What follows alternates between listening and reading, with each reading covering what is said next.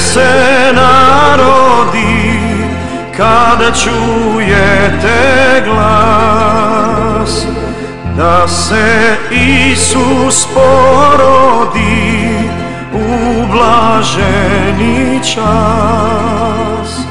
Svaki narod čuj, čuj i Betlemu pristupuj.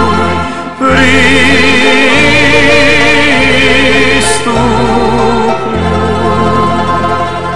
svakina očuj, čuj, i Betlemu pristupljuj, pristupljuj.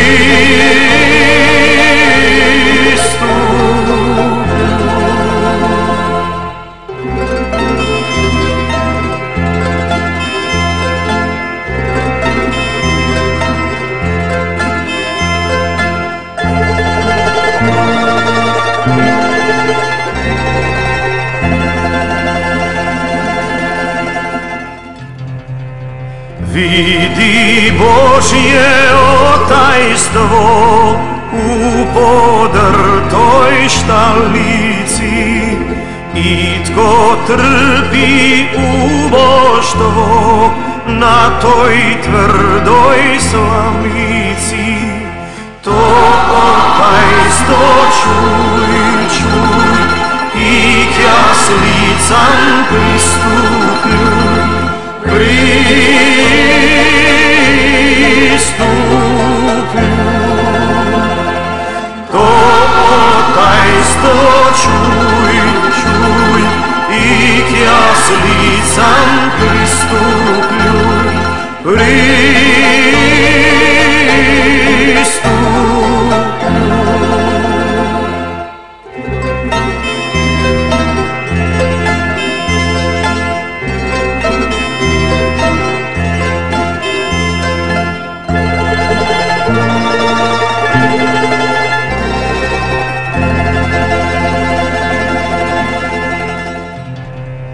Pođi i ti narode Betlemskome dvoru. Pridruži se klanjajuć anđeoskom dvoru. Lijepe